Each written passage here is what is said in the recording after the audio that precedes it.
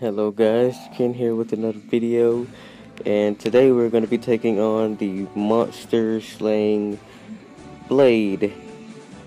And uh, hopefully uh, this is enough to refill my energy because if it is we're also going to try and take on Maxwell. No that's his name is not Maxwell.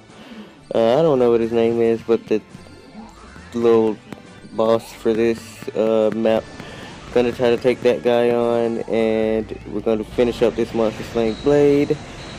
Uh, legendary Mifune. Uh, a lot of people say he sucks, but I really, really, really like Mifune.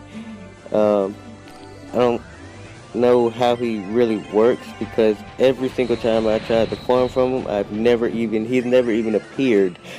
Uh, I made it, on the Japanese version, I made it to the, uh, what it is, the Death Beaconing Devil and he hasn't appeared not one time. I played that map like 10 times already, and he haven't even appeared, but I'm not going to give up that easily because Mifune is literally one of my favorite units, if not my favorite. Yeah, he's not my favorite. My favorite, favorite, favorite, favorite, favorite unit is, uh, what is his name?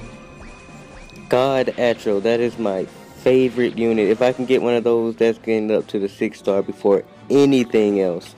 And uh, besides that, uh, let's go ahead and end this video right here.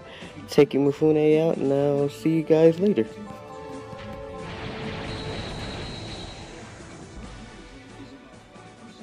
Please call Quicken Loans today. We can help get you.